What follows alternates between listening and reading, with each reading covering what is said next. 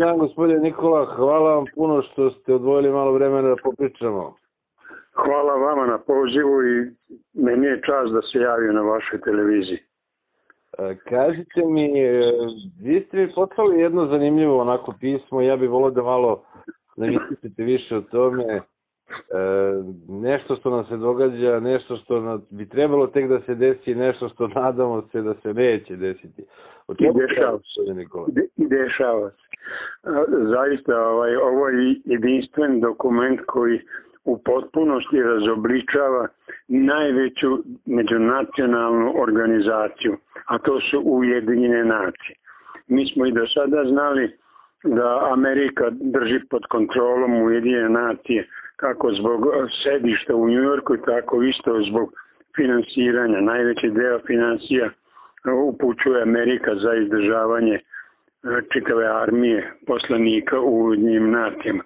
Ali ovo sada što se dešifrovalo od njih, u, u njihovim agendama koje su usvojili, zaista ovako nešto, ovakav dokument nikada u istoriji Ujedinjenih nacija nije, nije ugledao svetlo dana.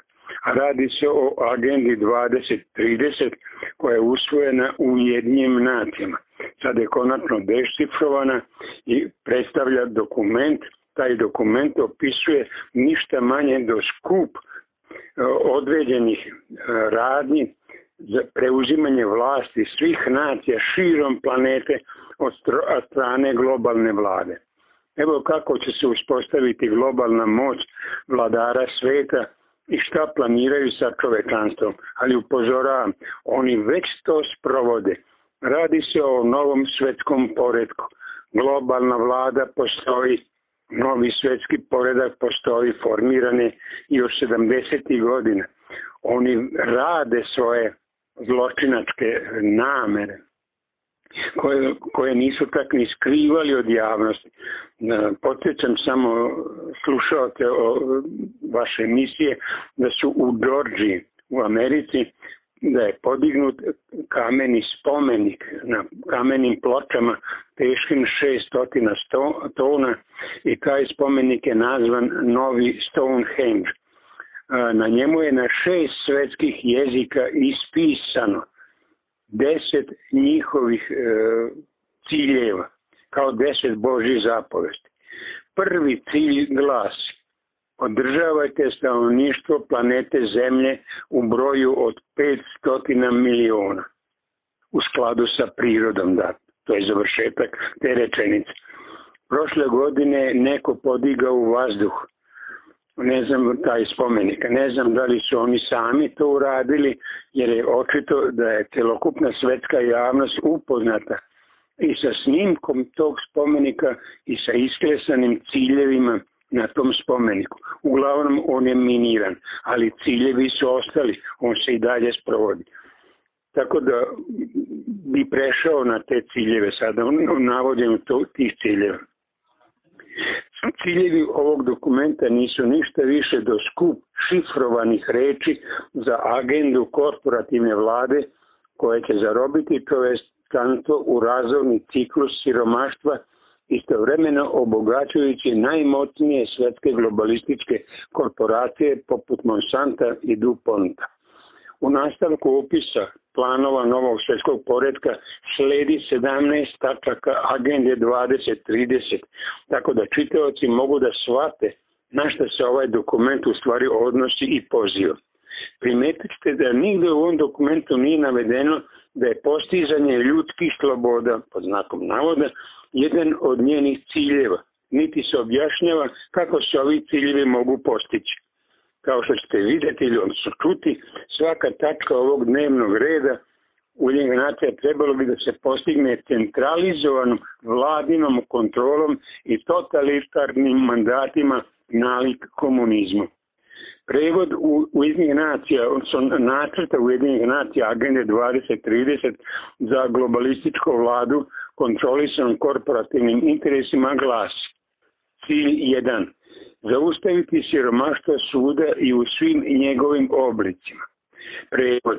Prebacite sve na socijalnu pomoć vlade, vaučere za hranu, stambene subvencije i dodatke koje će ih učiniti poslušnim robovima globalne vlade. Nikada ne dopustite ljudima da napreduju ne bili pomogli sebi. Umjesto toga promovišite masovnu viktimizaciju i poslušnost vlada koja obezbeđuje vladi koja obezbeđuje mjesečni dodatak za osnovne potrebštine kao što hrana i lekovi. Označite to kao kraj siromaštva po znakom navoda. Cilj 2. Iskoreniti glad, obezbediti hranu svima i poboljšati je, promovisati i održivu poljoprivredu i promovisati održivu poljoprivredu. Prevod.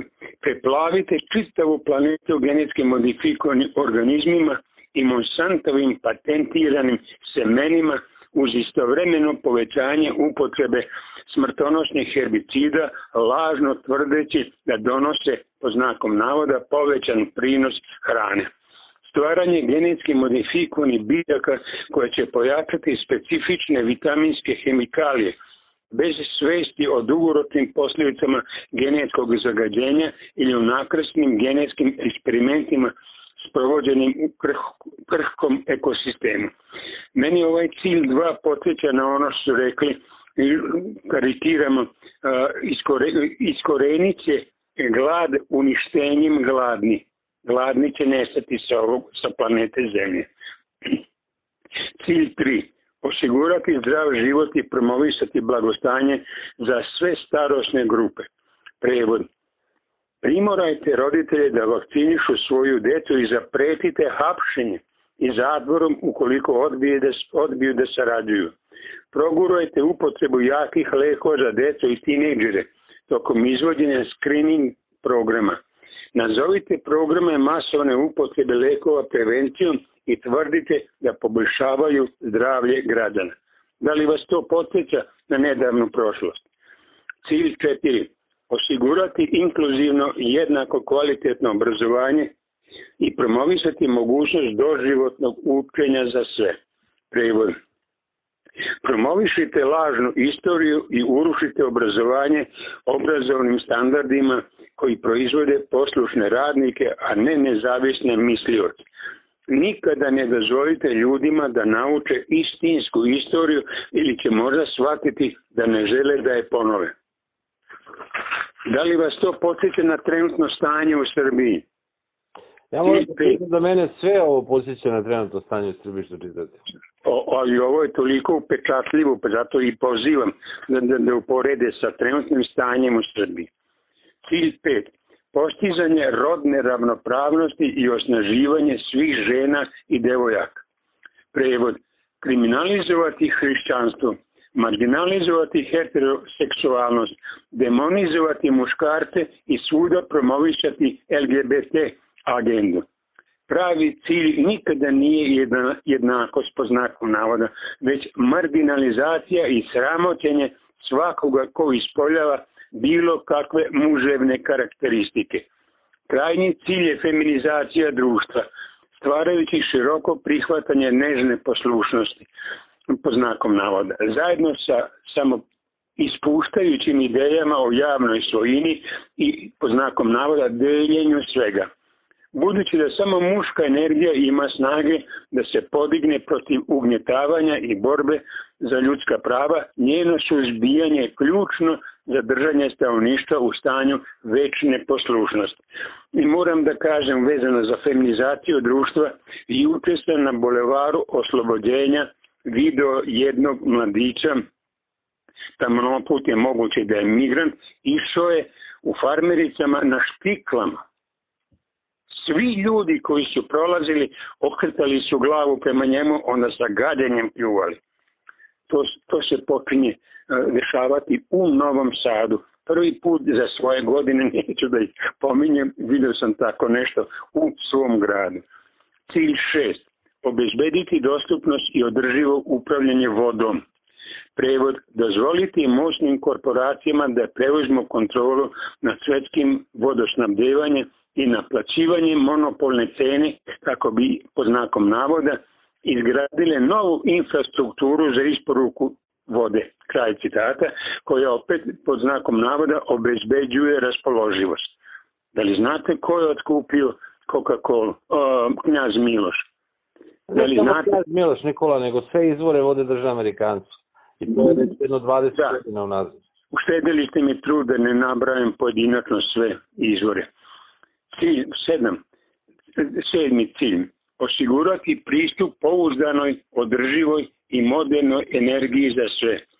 Prevod, kažnjavajte ugalj, gas i naftu dok promovišete osuđene na neuspeh pod znakom navoda zelene, su, zelene subvencije za mrtvačke start-upove na čelu sa prijateljima koji svi bankrotiraju za pet ili manje godina.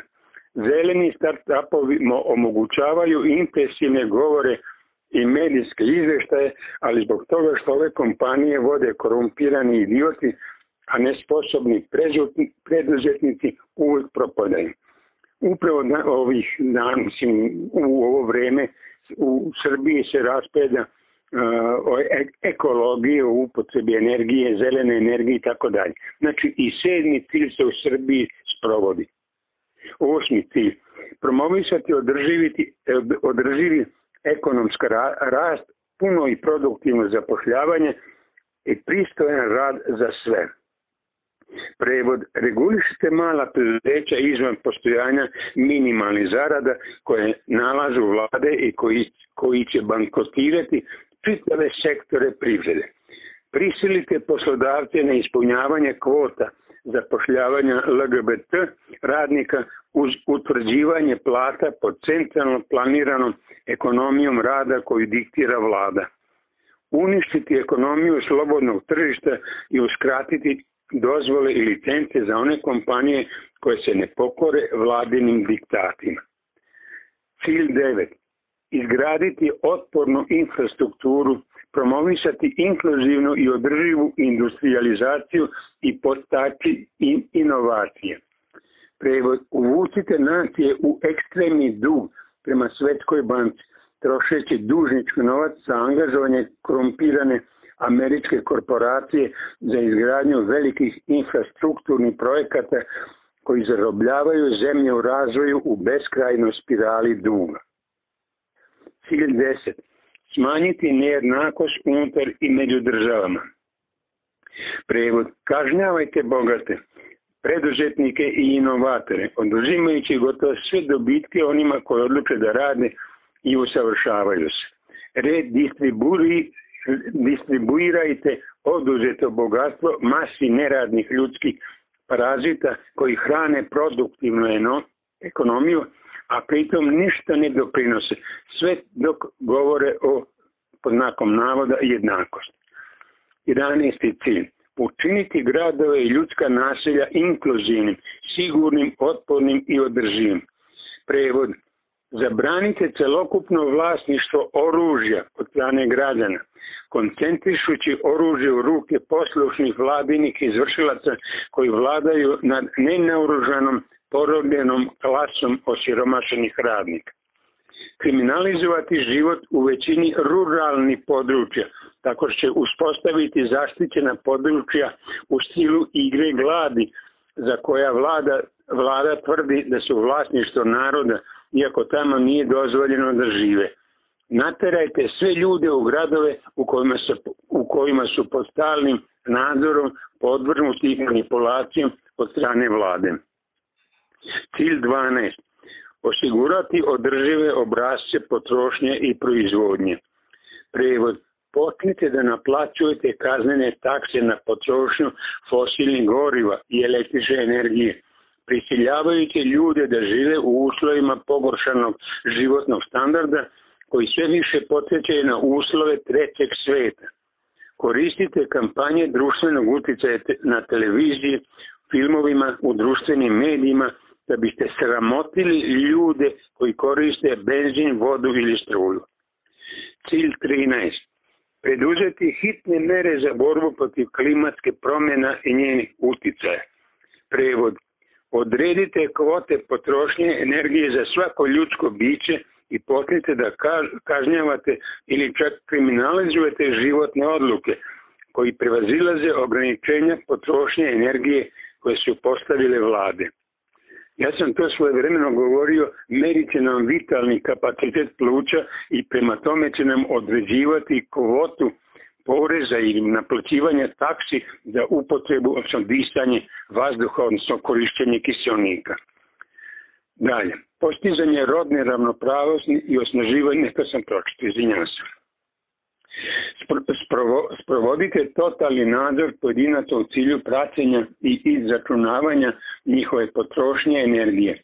Kaznite vlasništvo nad privatnim vozilima i prisilite masu na javni prevoz gdje kamere za prepoznavanje lica mogu da prate i snime kretanja svake osobe u društvu. Već imamo kamere usmjerene na pešačkim prelazima da snime svakog pešaka stojao on na pešačkom ili kretao preko polovoza. Cilj 14. Očuvanje i održivo korištenje okeana, mora i morskih resursa za održivi razvoj. Prevod. Zabranite većinu okeanskog ribolova, dovodeći do nestašice hrane i prouzrokujući beznačajnu inflaciju cena hrane koja još više ljudi dovodi u ekonomski očaj kriminalizovati rad privatnih ribolovnih plovila i sve ribolovne aktivnosti okeana staviti pod kontrolu centralnog planiranja vlade. Dozvolite samo favorizujućim korporacijama da sprovode ribolovne operacije na okeanu i donosite ovu odluku u potpunosti na osnovu toga koje korporacije daju najviše doprinosa kampanji i korumpiranim zakonodavcima. Cilj 15 zaštita, obnova i promocija održivog korištenja kopnenih ekosistema, održivo upravljanje šumama, borba protiv dezertifikacije, zaustavljanje i obnova degradacije zemljišta i zaustavljanje gubitka biološke raznolikosti. Prevod. Terajte ljude sa sela u gradove pod kontrolom. Kriminalizovati vlasništvo nad privatnim zemljištem uključujući rančeve i poljoprivredne sisteme. Čvrsto kontrolište svu poljoprivrednu poljoprivredu putem korporativne korumpirane vladine birokratije, čiju politiku Monsanto gotovo u potpunosti određuje dok USDA pečatira. Zabraniti grejanje na drva, sakupljanje kišnice i baštovanstvo kako bi se stvorila potpuna zavisnost od vlade. Moram samo da napomene da su u Boliviji također bili otkupljeni svi izvori pijaće vode. I kada su počeli da naplaćuju kišnicu koju su nešto ništa skupljilo, onda se podigla, podigao narodni bunt i u krvi je taj kapital, stani kapital proteran iz Bolivije. Ali napominjem, u krvi kišnice su počeli da naplaćuju stanovnicima Bolivije. Cilj 16. Promovisati mirna inkluzivna društva za održiv razvoj, omogućiti pristup pravdi za sve i izgraditi efikasne, odgovorne i inkluzivne institucije na svim nivoima. Prevod davanje legalnog imuniteta ilegalnim strancima i pod znakom navoda zaštićenim manjinskim grupama koje će biti slobodne da se bave bilo kakvim ilegalnim aktivnostima, uključujući otvoreno pozivanje na masovno ubistva policajaca, jer su oni nova zaštićena klasa u društvu. Tako, po znakom navoda inkluzivne institucije, znači davanje povoljnih porezkih olakšica korporacijama koje zapošljavaju LGBT radnike ili bilo koje druge grupe koje trenutno koriste centralnim planerima u vladi. I posljednji cilj 17 ojačati sredstva za implementaciju i oživjeti globalno partnerstvo za održivi razvoj. Prijevod omogućavanje globalnih trgovinskih mandata koji nadmašuju nacionalne zakone, istovremeno dodeljujući neograničena ovlašćenja imperialističkim kompanijama poput Monsanta, Dow Chemical, Reynolds, Coca-Cola i Merck. Usvojite, usvojite globalne trgovinske paktove koji zaobilaze nacionalne zakonodavce i nadjačavaju zakone o intelektualnom vlasništvu kako bi se uvjerili da najmoćnije svetske korporacije održavaju totalne monopole nad lekovima, semenima, hemikalijama i tehnologijom. Poništavaju zakone i poništavaju nacionalne zakone i zahtevaju potpunu globalnu poslušnost trgovinskim sporazumima čiji su autori moćne korporacije i ujedinjenih nacija. I na kraju kao zaključak potpuno porobljavanje planete do 2030. godine. Kao što u dokumentu nacija piše, obavezujemo se da neumorno radimo na potpunom sprovođenju ove agende do 2030. godine. Ako pročitate cijel dokument, brzo ćete shvatiti da će ovaj program Ujedinjenih nacija biti primenjivan na sve građane sveta i pod palicom vladine prisile. Nigde u ovom dokumentu nije navedeno da će prava pojedinca biti zaštićena. Tako i takozvana univerzalna deklaracija o ljudskim pravima pojedincima uskraćuje pravo na samoodbranu, pravo na lekarski izbor i pravo roditeljske kontrole nad sobstvenom decom. Ujedine nacije ne, nacije ne planiraju ništa drugo nego tiraniju globalne vlade koja porobljava čitavo čovečanstvo, dok šemu naziva održivim razvojem i ravnopravnošću. Godina 1984. godin je napokon stigla. I naravno sve se izvodi pod lažnom etiketom napretka, zaključuje Mike Adams sa određenog sajta Natural News.com, Web Tribun i tako dalje. Ovo što da, moram se izvinim, sve ovo što sam pročitao već se primjenjuje u Srbiji, zahvaljujući poslušnoj vladi koja sprovodi svaki ovaj stav. Vidjeli ste, za 24 sata poslije prve i najveće tragedije to, tog tipa, naš predsjednik koji je psihički oboleo, odmah je naredio da se narod razoružava. Tog trenutka i lovačko oružje i oni koji su imali do sad dozvolu, 90% oni koji su legalno dobili, prošli preglede i dobili oružje, njima će biti oduzet. Ja to znam jer je meni pokušan e, oduzimanje pištolja koji sam kupio 1991. godine radi odbrane porodice jer sam isključivo noću radio. Porodica mi bila sama, a počeo je građanski rat. I kada nisu mogli da mi ga oduzmu, onda su mi provalili u stan i moj pištolj sa kasetom je nestao. Onda su provalili, otključali bravu, posebno bravu, to samo policija može. Neki kriminalac ne bi bio zainteresovan da mi obije takvu bravu, da bi mi odnio samo pištolj. To će uraditi i sa svim građanima.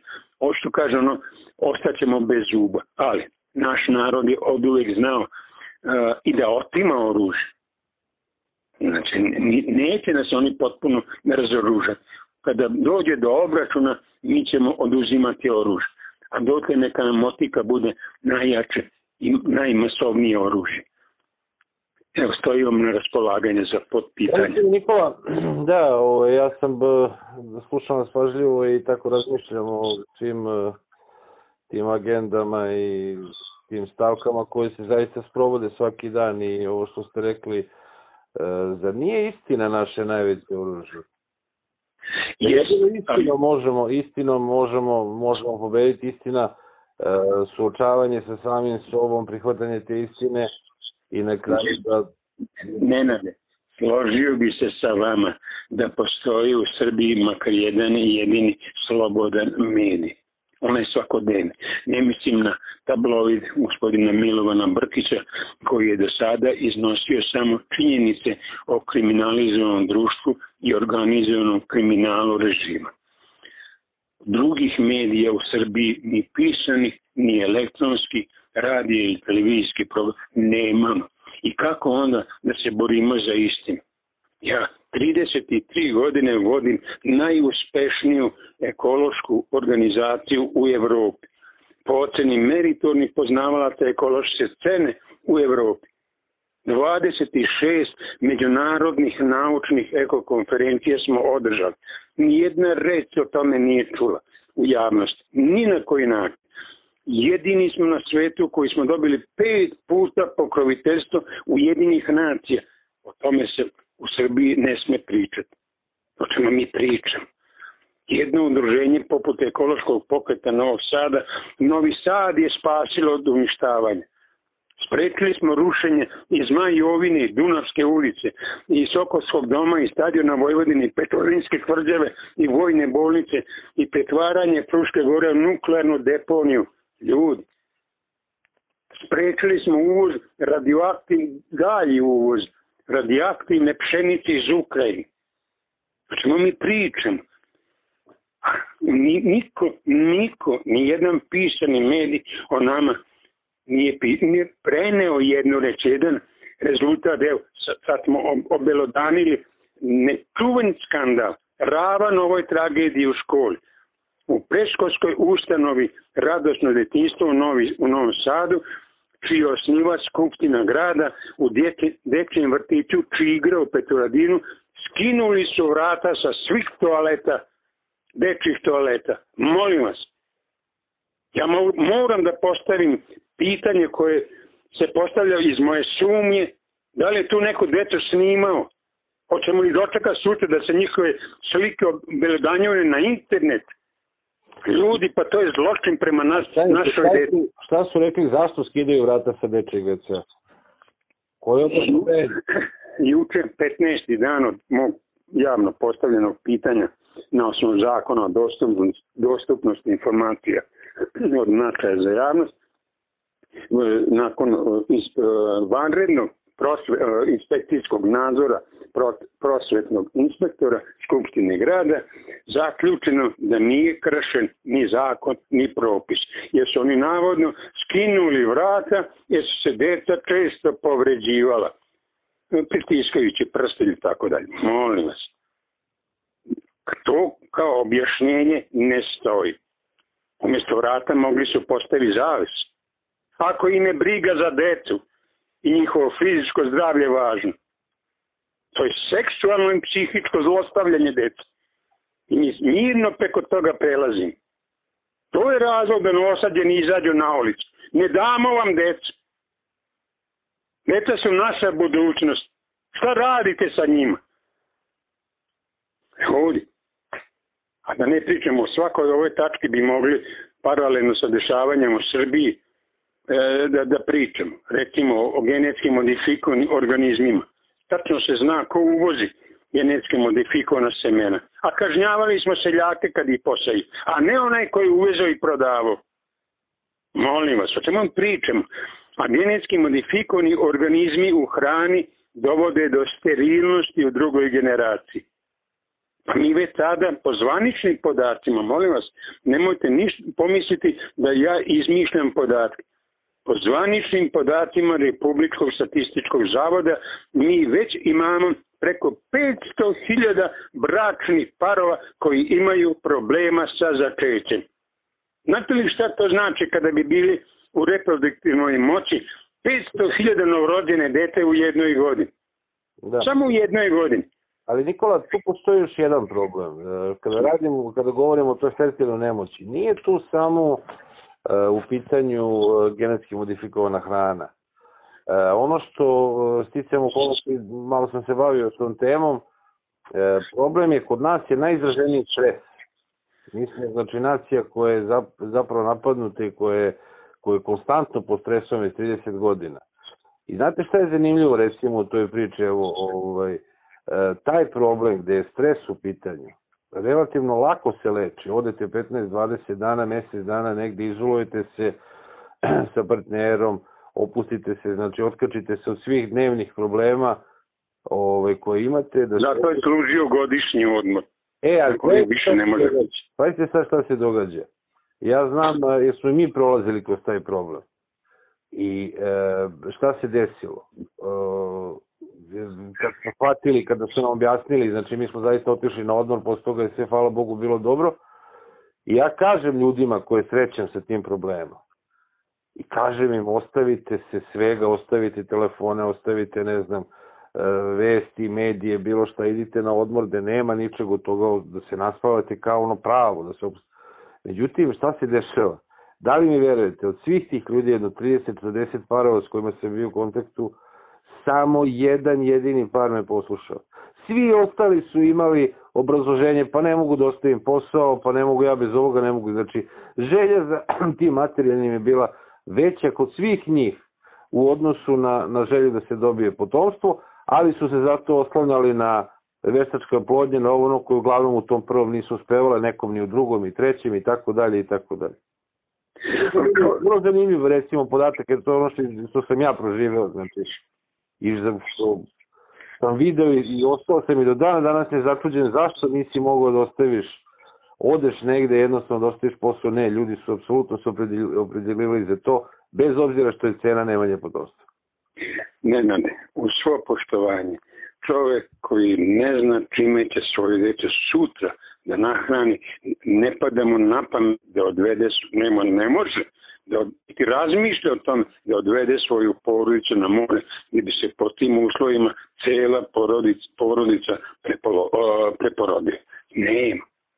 I oni izmišljaju razloge da ne bi priznali da nemaju ni za hranu, a ne da poslušaju tvoj savjet koji... Nije ovo bilo da vas, Nikola, ovo nisu bili ljudi koji nisu imali para. Ovo baš suprotno. Svi, svi do jednog su imali i radili dobre poslove i odlično zarađivali, znači daleko od toga nije to bila sirotinja. Oni ne doživljavaju stresove.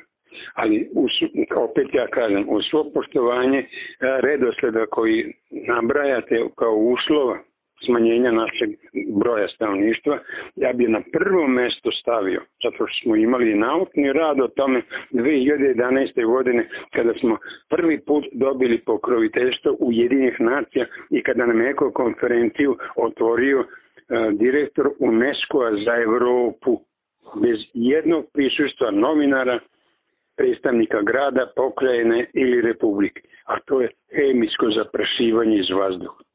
Ljudi, na nama se svakodnevno od 2006. godine vrši genocid. Nas zaprašuju najopasnijim kemijskim otrovima koji nas, građane, stanovnike e, Srbije ubijaju a prirodu uništavaju. Sad kad bi se uporedilo zemljište, kvalitet zemljišta laboratorijskim analizama, te zaprašivanja i sada vidjeli bi enormno povećanju teških metala u zemljištu, najviše aluminijuma. Jer je u ovim oblacima 30% aluminijumskih iona koji zakišljavaju zemljište a posle toga na tom zemljištu može da uspeva samo genetski modifikovane kulture. Ljudi, nastruju kao da smo insekti. Mi svaki dan gledamo na nebu tragove aviona s kraja na kraj horizonta. To nisu normalni tragovi. To su stotine hiljada tona otrova izbačeni koji padaju na, na, zemlju, na prirodu, koji nebo pretvaraju u belu boju. Pa naše nebo je plavo, azurno plavo. Kada vidite belo nebo, to znači da su oblaki prepuni tih hemijskih otrova koji su izbačeni na nas. To je razlog što se rapidno smanjuje broj stanovnika u Srbiji. I to nikakvim falsifikovanim popisima stanovništva ne može da se popravi. Pa imamo više birača nego stanovnika. Čemu mi pričamo ljudi. I zato sada daju državljanstva migrantima, njima će da zamene nas.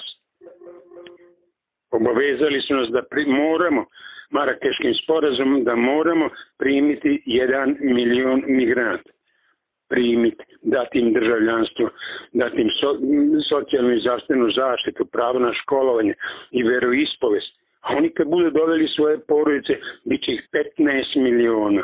Molim vas, 15 miliona. I to se javno radi. Ovaj psihopata na čelo Srbije kaže naše stanovništvo koje odlazi u zapadnu Evropu zamenit ćemo migrantima. On to javno govori, ne krije se. To mu je nalog koji je dobio od novog svetskog poredka koje okupator isprovodi. On nije predsjednik Srbije, pravi predsjednik ambasador Amerike koji je doveden iako je bio u penziji a proslavio se na Kosovu šta je radio i kako je podržavao i instruirao teroriste na Kosovu. Ambasador Hill, on je gubernator guverner, kako hoćete, pravi predsjednik i senk. Pa vidite na svakoj svečanosti stoji uz predsjednika Srbije i engleska ambasadorka. Ja kad bi bio mogućnosti, dozvoliti mi da maštam, ja bi englezima ne bi smjela zabranim ulazak u Srbiju da me proglasili rasistom, ali imam pravo da im uvedem vizu od 100.000 funti. Ja hoćete da posjetite Srbiju, može, platite vizu. Oni su nam vekovima činili takva zla da smo milionima ljudskih života platili njihovo mešanje u naše unutrašnje stvari. I još uvijek dozvoljavamo. Pa dok li više? I moram na kraju da kažem, nemojte me shvatiti samo kao kritičar. Mi od 11. godine, mislim na moju bazu ekološki popet Novog Sada i našu političku nadgradnju, koja nije registrovana, ali imamo pravo da se izjašnjavamo. Imamo rješenje koje od 11. godine javno iznosimo pred Narodnom skupštinom, predsjedništvom, vladom, generalštabom, televizijom Srbije. U sedam tačaka možemo zauvek rešiti budućnost, slobodu naše zemlje i stanovnika. Samo u sedam tačaka prinudne, vanredne sednice Narodne skupštine. Zašto kažem Narodne skupštine? Iako su ovi poslanici nelegalno izabrani. Oni su sa ulice ušli u skupštinu i proglasili se narodnim poslanicima. Za njih niko nije glasao u ovoj zemlji. Niko. Zna neko od vas koji slušate ovu emisiju ili vi da je zaokružio nečije ime? Nije. Njih su birali lideri interesnih grup ili stranih agentura. A koga su stavljali na svoje liste ne bi smeo iz poštovanja prema vašoj emisiji da navedim, navodim kakvim karakteristikama su birali te svoje e, kandidate za poslanika u Narodnoj skupštini. Ovu preko kreveta, ovu po poslušnosti, ovu po naredbi strane agenture. Pa pogledajte.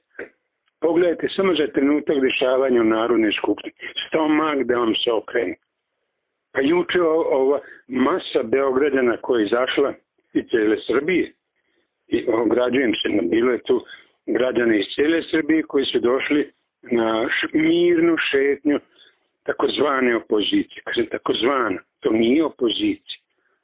To je interesna grupa koja se bori za svoje mesto u Narodnoj skupštini da bi uživala iste privilegije kao i ovi sadašnji pučisti ili uličari, svejedno. Pa molim vas, ko god misli da nisam u pravu, samo neka otvori Ustav i pročita član 2 i 3. Dve rečenice e, teksta. Znači nije napad veliki. Gdje piše građani Srbije, odnosno narod Srbije ima pravo da slobodno i neposredno bira svoje predstavnike neposredno, znači po imenu i prezimenu. Kao što sam ja četiri mandata za redom biran za odbornika ekološkog pokreta Novog Sada, Skupštini grada Novog Sada. Jedini odbornik tada među svim strankama i koalicijama. A onda su promenili zakon da me spreče da me narod bira, građani Novog Sada, da me biraju i po peti put za odbornik. Su vidjeli, su vidjeli šta sam sve sprečio da se ovaj grad uništava. Pazite, morate biti svesni zašto se to radi. U, novom, u Novi Sad su početkom građanskih ratova i posle dolazili ljudi iz ratom zahvaćenih područja ili uništeni područja ratom, ratnim akcijama koji su došli u Novi Sad neki sa kesama punog krvavog novca koji za Novi Sad uopšte nisu vezani za neku ulicu, za neki objekat. Pa ljudi, u Miljetiće ulicu se mora ulaziti čutke da se prekrsti čovjek na početku jer je bio prekriven pejlima novosadjana ubijenih tokom racije 42. godine. To ne, oni ruše sve. Ruše objekte kao ovaj Pupinov hotel koja je bila, zgrada je bila pod zaštitom države, srušena. Da bi jedan moćnik izgradio svoj hotel Pukin. Ode preko puta pošte. Čudite kad kažem da su hteli i Zmajovinu i Dunavsku ulicu da sruši. Dunavska je najstarija ulica u Novom Sadu koja je jedina preostala posle bombardovanja sa tvrđave 1848. godine. Njima ništa nije svet. Nisu vezani ni za što osim za novac. Koliki će profit da imaju. Pa možete da shvatite Dunavski park koji sad ima oko 130 godina postojanja. Dva puta sam skidao sa sednice Skupštine grada da se našao kao tačka dnevnog reda isparcelisan kao najskuplje neizgrađeno građevinsko zemljište. Dunavski park, preko puta Banovine. A sad grade, sad grade podzemnu garažu uz Banovinu koja je narušila statiku Banovine. Banovine, zgrada Skupštine, naprsto počela se ruši. Iznutra se stavili one plastične vrpce, zabranili ulaz, straha da ne bi neko poginuo u Banovi. Zbog te bano, garaže na tom zelenom pojasu koja je bila ispred Banovi, Skupštine Vojvodine. Ljudi, po čemu mi pričamo? Ako se novosadjeni ne udruže, da sprečimo organizovani kriminal, kome je gradska uprava predata na upravljanje, i to da se okupe oko naše li, liste, ekološki poket Nikola Alis, moje ime smo stavili namerno u naziv liste da bi se razlikovali od prevaranata, jer je režim registrovao istoimenu ekološku organizaciju. U pokušaju da obmane, obmanu birače i da simpatije građana Novog Sada upućene nama zbog naših 33-godišnjih rada i rezultata prisvoje sebi. Molim vas, bez obzira što su izbori protiv ustavni, za novi sate moramo boriti. One liste za pokrajinu republiku potrepajte, imate pravo na to. Zgužvajte, preskrabajte, ali za novi sad zaokružite našu listu. Jer mi smo garant da ćemo se nastaviti boriti za uslove života u Novom Sadu, kao i do sada ovih prethodnih 33 godine. Znate neku od ovih interesnih grupa koja je duže se borila i da navedete jedan jedini njihov rezultat. Pa ljudi, ekološki pokret ima toliko rezultata koliko sve ostale stranke zajedno. Zapravo one i nemaju ni jedan jedin. Jer se neka od njih može pohvaliti nečim delom, nekim delom, ne, nekakvim rezultatom, da kaže, evo mi smo ovo postigli. Ne, mi smo se zalagali za kraljevinu. A, a ovaj psihopata ih finansira. Pa ne možete vi mrtvom konju duvanjem pod rep da ga podignete na noge. Kralj se svoje vremeno odrekao krune Srbije. Molim kralj se odrekao u korist one Jugoslavije, kraljevine Jugoslavije i Srba, Hrvata i Slavna, svejedno. Odrekao se krune Srbije. Sad bi mi, sad nekog novog agenta, evo ovog oficira iz Engleske, koji došao kao oficir, kao agent, mi šest, one obaveštene službe engleske, on sad pledira da, bude prestolno naslednik.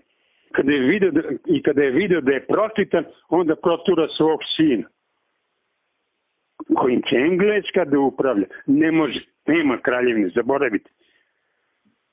Narod mora da izađe izbore po većinskom principu kao što u Ustavu piše. Ja ne kažem ništa više nego ono što piše u Ustavu i zakonima pa onda neka bira ili Nikolu Alisića ili neku sponzorušu ili neku budaletinu ili nekog agenta ili nekog lekara, inženjera, stručnjaka, pravnika. Pa neka ih uporedi. Kome više veruje, za koga smatra da će biti bolji, ali i sutra, ako izneveri njihova očekivanja, mogu da im pokucaju na vrata i da pitaju, ej, zašto si nam glasao za tebe? Kome ti služiš? svom gradu, svojoj pokrajini republici ili interesnim grupama, stranim agenturama. Pa da vidite, i njihove adrese neće biti tajne. Pa molim vas, e, evo, podsjetit ću da, da ne dužim više, možda imate još pitanja. Da li, da postavim jedno pitanje javnosti, da li ste ikad čuli da je neko od ovih lidera koji sebe naziva opozicijom pomenuo reč Ustav, osim one budale pravnika koji je predložio da se u Srbiji provede referendum po opštinama, kao da se može i tako raditi po rudi. On je budaletina na kvadrat i da se sprovede referendum sa pitanjem da li Ustav treba poštovati.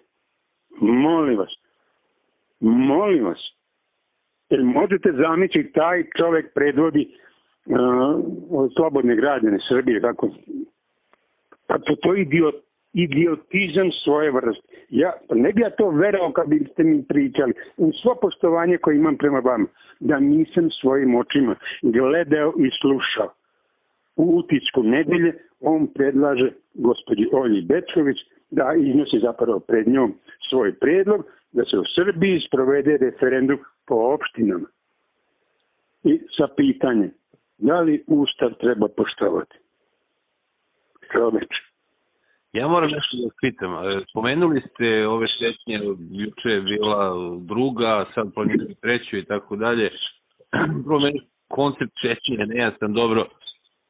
Ovo, ovaj, ima to je redu, malo se ljudi rekreiraju, ali e, kako vi komentarišete upravo te šetnje i to što se događa vezano za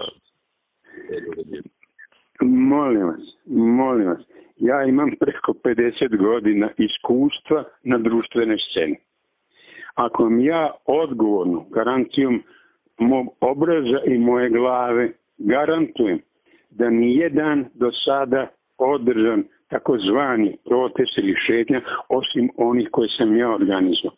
Ali mi režim svaki put e, napravi diverziju, pa kod mene na moj protest ne dođu građani. To su performansi. Molim vas, jer nijedan jedini protest koji se održava posle podne ili vikendom, praznikom, nije protest.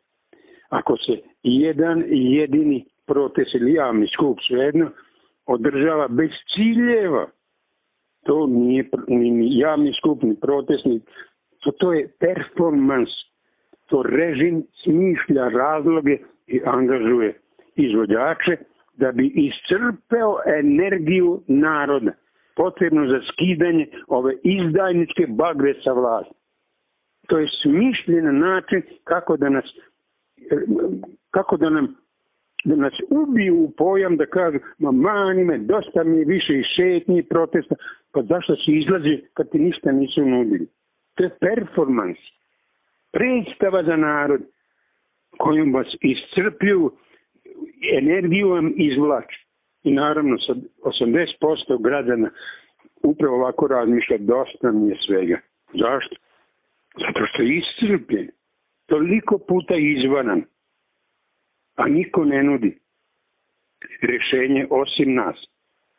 Mi svaki put, pazite, ovi što sad organizuju skupove, pa čak i Aleksandar Vučić 26. maja, nije podno prijavu policiji za održavanje javnog skupa. Samo Nikola Alešić to radi. I u toj prijavi policiji po zakonu o javnim skupovima navodi mesto, datum, vreme i ciljeve. Ciljevi skupa kažem, naš cilj je da srušimo ovu vladu, da ih uhapsimo i procesuiramo. I zato pozivamo, pazite, ja ne pozivam naroda da to uradi. Nije to naša ustavna i zakonska obaveza da mi hapsimo izdajnike, pa bit će krvi do kolena. Ali to je ustavna obaveza vojska i policije. Iako je vojska natovska. Naći se makar jedan koji će se pridružiti narodu. Ja pozivam policiju da oni uhapse generalštab predsjednika i sve ove izdajnike, ministre, vladu i tako dalje. I lažne poslanike. I da ih procesuiraju. Ogromna sredstva koje su opljačkali od naroda moraju se vratiti. A to moraju samo ako se procesuiraju. I još nešto, da me ne bi shvatili po, pogrešno. Život predsjednika Srbije je najvrednija stvar u ovoj zemlji. Kao oči naše moramo čuvati život jer se mora uhapsiti i procesuirati. Kako ćemo znati ne drži milijarde, milijarde evra. Pa njih Amerika procenjuje njega i brata da su preko 70 milijarde evra ukrali. Od građana Srbije. Znači, nemojte slušati one, i moram da kažem, idiote koji pozivaju na uzimanje puške i ubijanje u skupštini gluposti. Molim vas, njegov život moramo čuvati kao malo vode na dlan, kao oči svoje. On se mora uhapsiti, obući u ludačku košulju i tako biti izveden iz predsjedništva da bi tu sliku prikazali celom svetu, Evropi, svim državama koje su ga podržavali. Oni su sa njim sarađivali. A to će nam biti osnov da poništimo sve međunarodne sporazume, ugovore o prodaji naših prirodnih dobara i tako dalje. Nemojte zaboraviti, za primanje mita odgovara i onaj ko daje i onaj ko prima. To je jedan proces. To je za nas jedino moguće rješenje. I kada donesemo ti sedam tačaka, ih ne nabrajam, 63 puta sam ih ponavljao, posljednja tačka je prenos ovlašćenja sa Narodne skupštine na vladu nacionalnog spasa koju ćemo odmah poslije proglašenja vanrednog stanja izabrati, ali po našem predlogu, ne po predlogu Karšije, ne po predlogu stranih agentura, nego pod punom moralnom zakonskom odgovornošću onoga ko predlaže. I to smo mi, patriotski blok, naša politička nadgradnja. Mi ćemo te ljude birati po delima, a ne po pripadnosti meni, vama i ne znam kojoj interesnoj grupi. I za svakoga ćemo životom garantovati da će raditi samo u interesu ove zemlje, a ne kao ovi ministri građevine u prošlom i sadašnjem sastavom. To je strašno. Zorana i ne zna koliko se nakrao. Ne zna. Pa ona je kupila stan čerci za školovanje u Londonu. U centru Londona za gotovinu milijoni šesto hiljada funti. Odakle je to? Je to uštedjevino od pranja ribe u Tuzli? Ne znam samo kakve ribe. Molim vas bila je ministarka građevine, e, energetike i tako dalje, taj resor. A ja sam se sticajem okolnosti upoznao o standardima pravljenje asfalta za pute uopšte, za autopute. On mora biti najmanje 12 cm debel. On mora da ima određen procenat asfalta, katrana. On to mora da ima u odnosu na tucani kamen s kojim se meša. Ako to ne ispoštujemo, autoput puca za tri mjeseca pukotine, nema šta više da drži tucani kamen u toj košuljici koliko je tanka, tanka tanak sloj asfalta koji se prebacuje na, na put. Ja znam, ja sam bio dete deset godina u Somboru asfaltirani venci oko centra grada četiri venca, naše četiri vojvode nose imena, nose ti, ti delovi venca. Gledao sam od početka, od dubine, od metra i nešto, kako se gradi. Prvo one velike kocke kamenja onako nabacano, valja pređe preko njih, pa drugi sloj nešto sitnije kamenja, pa do onog najsitnijeg na vrhu, a onda asfalt. I dan danas bez pukotine. Molim vas, ja sam imao 10 godina, to je bilo 57. godine, taj venac, kolovoz venaca oko centra grada u Somboru i dan danas je nerastuknut, ceo, očuvan, bez rupa, bez pukoti. Tako se grad, tada je onaj jus to određivao. U crkvi sam upoznao jednu sestru koja je pevala u horu pojaca i predstavim se, ja sam laborant. Ona kaže, ja sam, medicinski ne, hemijski, pa šta radite, gdje radite? Kaže, radim u jednom institutu na proveri kvaliteta asfalta. I meni put sine. Sve mi se obelodani shvatim na koji način je i Zorana i e, onaj pre njega i Čačka, Velja Ilić, tako da na koji način se krade izgradnjom puteva. Na kradi patrana i na uh, smanjenju debljine tog sloja posljednjeg nanosa preko puta. Mjesto 12 stavi se 2 cm. Pa to ne može izdrži jednu samo sezonu prirodne promjene vremena. Ljudi, pa daj osvestite se. Sve ima svoj uzrok i, i posljedice.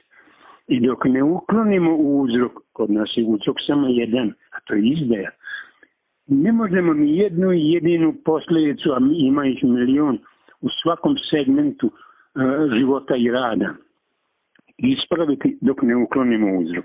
Nemojte mi pokušavati. Poljoprivrednike pozivam, nemojte se zamajavati zbog cena mleka, malina, ovo ono. To je namjer.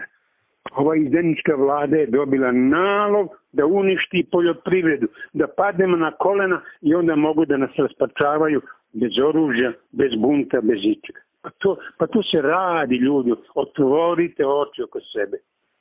Srbija mora da ustane na noge sa jasnim ciljevima. Ovu izdajničku vlast moramo uhapsiti, odnosno primorati vojsku i policiju da ih uhapsi, da ne bi bilo krvoprolića, da ih strpa u zatvor i procesuira, a onda da se okrenemo svoje budućnosti na opisani način. Nema nam drugi. Ne stajemo kao narod. Proročanstva se ispunjavaju. Ostaće nas koliko pod jednu šljivu.